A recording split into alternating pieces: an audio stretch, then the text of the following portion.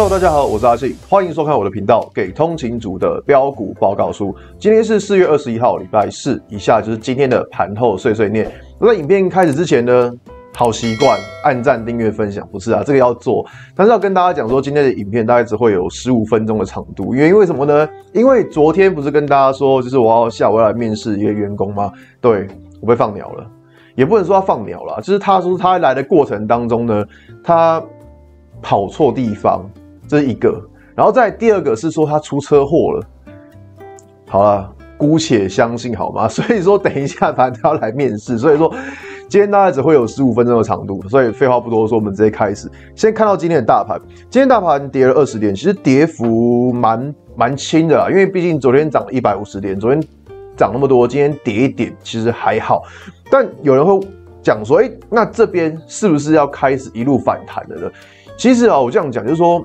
以最近的行情来看呢，就是说整个行情算是比较好一点的。这个等下再来讲。那可是行情好一点，不代表就是说指呃指数会一路进攻，就大家去了解这是两回事情。就它指数啊，它有可能就是一路进攻，或是盘整。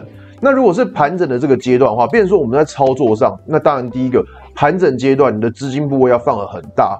那是不可不可能的事情，而且也是一个风险很大的事情。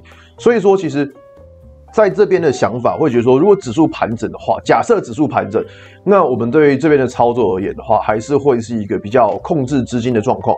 那我这样讲哦，就是因为很多看到很多人昨天大涨，然后就开始说，哎，反弹确立这样子。其实真的有反弹确立吗？我们来看一下大盘的周线图哈。大盘的周线图主要是关注在这一条。五周的均线，这个五周均线其实非常的重要，因为它是一个中期的趋势。如果说我们要真的要看是反弹非常确立，能够往上走的话，那起码指数要能够站上这一条五周的均线。我给各位看一下，你看哦，像是上一次这个地方它站上，但怎么样？它是量缩，所以说站上归站上，那。要观察的是说，接下来到底有没有价涨量增的可以冲出去？我觉得这个是比较重要的。所以说，其实以现在的状况，我的我个人的想法，我也是一样，就是维持着一个不会放太大的部位，然后还是一样，就是去找说当天看有谁会比较强的股票来操作，大概是这样子。因为我觉得这个地方指数还是很震荡的状况之下，如果你把部位放太大，很有可能就是因为你会因为就是涨跌幅。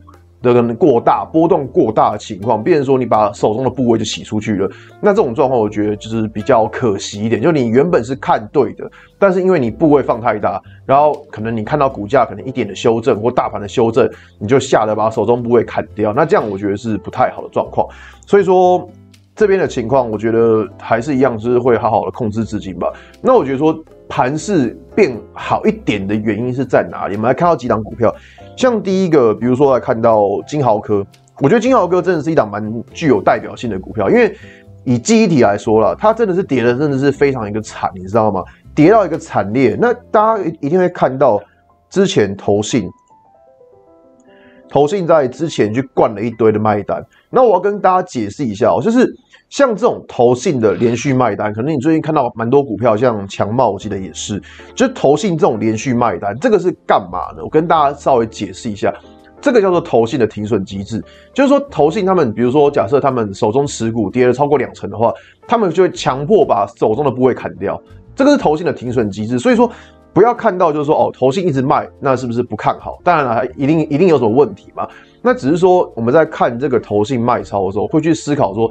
这个东西可能是一个投信的停损机制，对，就大家都会停损，就是散户不停损，所以投信它本身是有这个机制在。变成说股价跌，它就必须怎么样？它必须砍，没有什么理由，它就必须砍。那砍到后来呢？有时候你会发现，哎，有时候什么投信砍在最低点，为什么？因为停损机制，大家说哦，投信要停损了，然后就有一些逆势的买单跑来接。所以这个我觉得今天的金豪科比较像是一个就是。呃，就是跌升反弹啊。那当然，在大盘如果能够止稳的话，这一类型的股票能够跌升反弹，其实蛮重要的。像之前有档股票叫利基，利基真的是跌到一个非常夸张，你知道吗？它从哪里开始跌？哇，它跌的可久了，你知道？可跌这么久，它到最近却发现它也跌不太下去了。所以变成说，其实在看到盘面的资金部位的时候，就会去思考说，哎，是不是会有一些跌升反弹的股票会冒出头来？我觉得这个就是在最近的看盘我会去看到的现象。当然了，如果你要抢跌升反弹，你是要记得，就是说抢反弹跟抢银行一样，它就是有抢到就要跑。像今天有档股票新塘嘛，新塘在今天早上的那个广播跟大家提到，那这种也是一样，就很典型的是大家看好它，哎上去然后去追，追完之后，哎它可能就可能就下来了。所以这种股票就是你不要要求说我要是爆波段，我觉得这边爆波段其实呃不能说不行，但是就是你的资金效用可能就没有用的这么好，因为它可能。最标的就是今天这一个，那可能明天之后它可能就是开始就是小涨小跌这样子，那肯定要开始整理。变成说，在操作上，如果说，呃，但如果说你是没有办法一直盯盘的话，当然你可以去找一些就是可能已经跌升的股票。但如果你是想要把资金运用的比较有效率的话，还是可以去找一些当天就是。呃，有反应比较大的股票，那像今天比较弱势的族群是在于像太阳能，像元晶，元晶在昨天的文章有提到它，然后提到它之后就啪就下来了。那反正今天在下来这个时候，哎，长虹不能说，反正不能说什么，就是下来这个时间点，反正我就觉得不太对劲，因为在昨天的文章，其实我跟大家说过，就是像它今天这种预估量放大，像这种预估量放大的的状况，就是你要去小心说它不能够开高走低，因为预估量放大，你看哦。昨天已经连续缩了三天了，连续量缩两天。那今天的盘中，它的预估量是放大的，所以盘中预估量放大。那假设预估量放大，它股价又跌，那是就变成是一个价跌量增，所以这个就是一个比较不好的情况。所以我觉得像元金这样走弱的话，我觉得会去思考，就是说资金会开始从一些高位阶的股票去跑到低位阶的股票来。我觉得这边应该会是这样来看，好吧？那反正大。嗯，大盘应该先讲到这边，因为我觉得说让大家知道说现在操作，我个人的操作还是一个短线进出，就是我不会想要跟它耗太久的时间。那呃，如果各位的操作是觉得说这种短线操作不适合你，那当然你可以等大盘止稳一点之后，你再来看，我觉得这样也 OK。那反正就是找到一个适合自己的方式，只是我会选择我自己呃这种短线操作，是因为我觉得大盘的状况没有说非常的好，就它会涨会动。但是就变成说指数可能还是会很震荡，这是我觉得现在大盘我觉得比较尴尬的地方，好不好？来看看大家问题好了。哎，都现在几分？才七分钟，还蛮快的。哎，不对，好像是这个，好像是昨天的。我看哦，对，这个天天震来震去，哦，这么多。看到第一个。Oliver，谢谢最帅气阿信老师，感谢每天帮大家分析，不客气啊。我觉得就是有人看，反正我就会分析。那当然就是我也讲，就是我的分析不保证一定对，对，可能错误百出，漏洞百出这样。但是反正我就是以我自己的想法跟看法来跟各位做分享。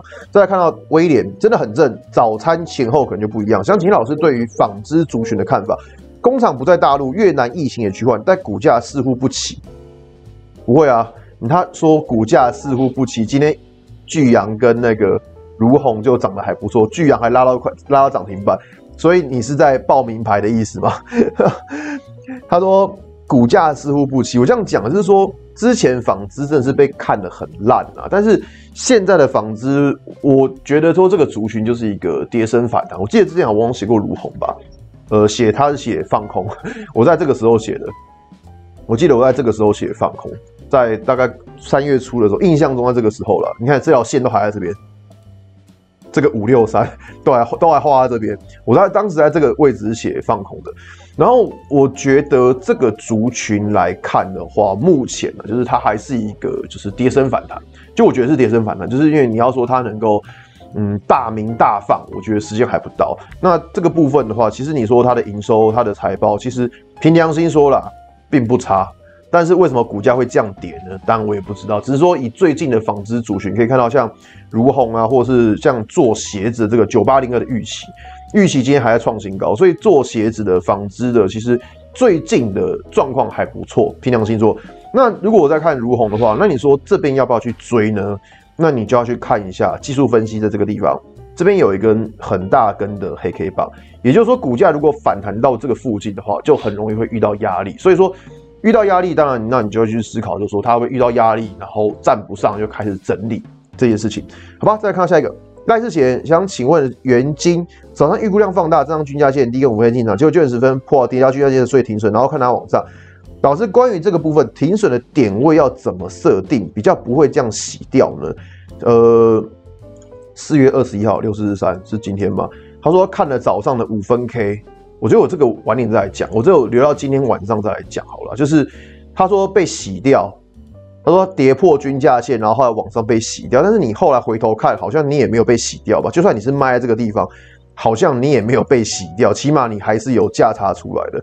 原金的部分，我觉得我在今天晚上的影片我再来教学啊，因为礼拜四的晚上我都会把一些就是文章有提到的股票来做一些教学，所以原金，我觉得我可我可以讲一下，在文章讲一下我今天的进出模式啊，就是可以跟大家来教学一下，说我今天是怎么看它的。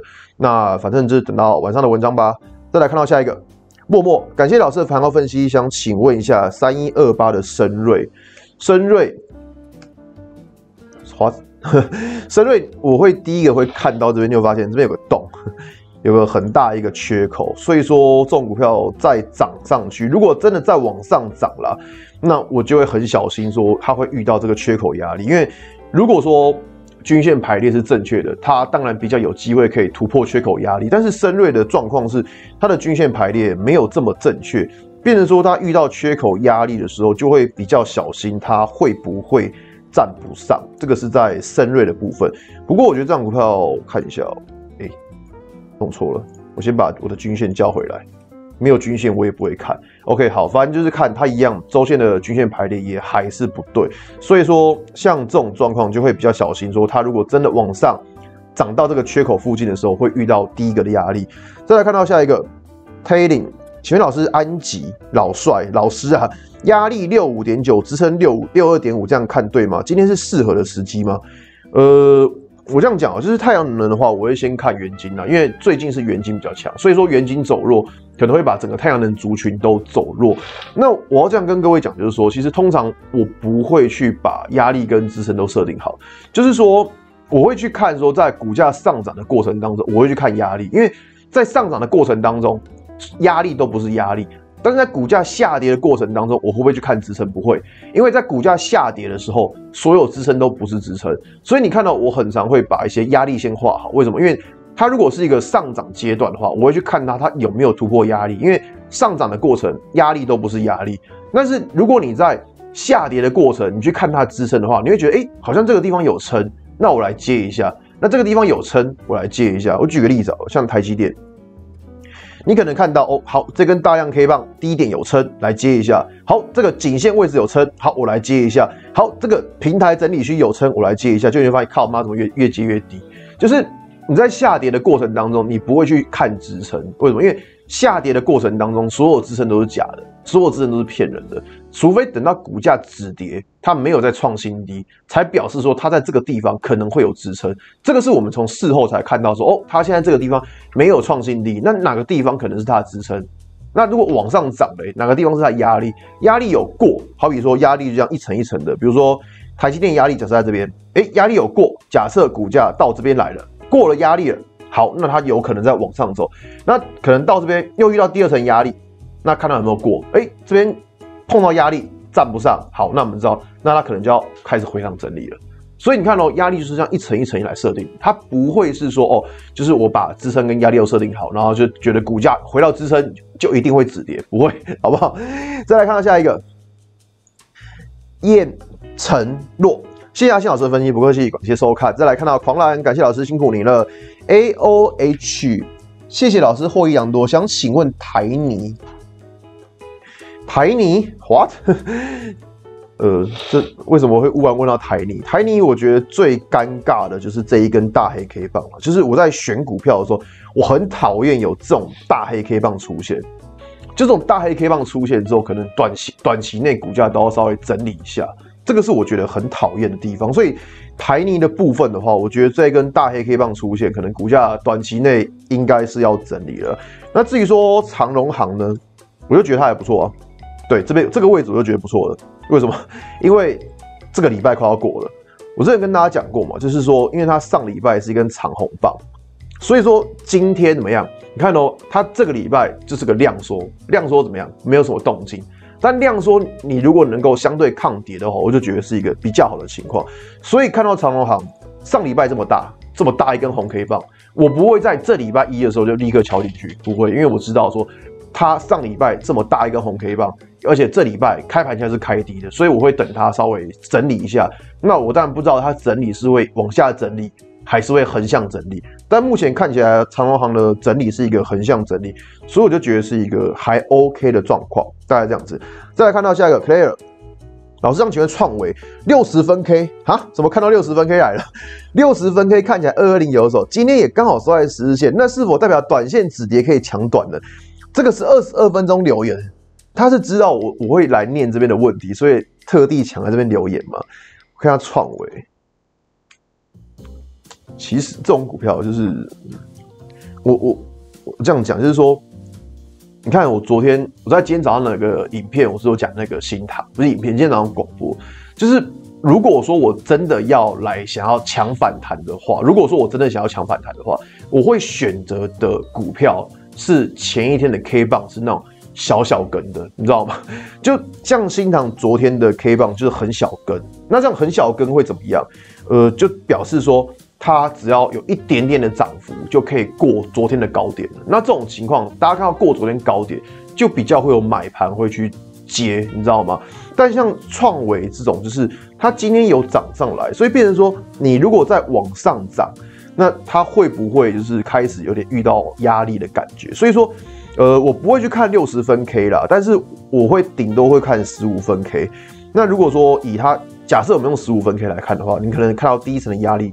大概就在这附近吧，就可能在这附近，可能再往上涨的话，就会比较小心，说它会不会遇到这第一层的压力点的，大概是这个样子。所以，但通常我很少会用这个方式来抓，因为这个方式就是你就是摆明就是你只要做短线而已。所以说这个东西我会觉得没那么适合。OK，好了，今天差不多了，现在两点二十五分了，我们大概讲了十五分钟。那如果有问题的话，在明天的直播我会。明天直播我会帮，就是呃，好了，明天直播我多讲十分钟，好不好？就是我们通常直播都到九点嘛，对不对？不然明天的直播我们多讲十分钟，不要说我偷你们的时间。明天直播我多讲十分钟，原本九点结束，我们讲到九点十五、九点十分，好不好？不然你有，如果你有任何问题的话，你也可以明天直播来发问。OK，好了，那今天就先这样，我要去准备来面试员工了，拜拜。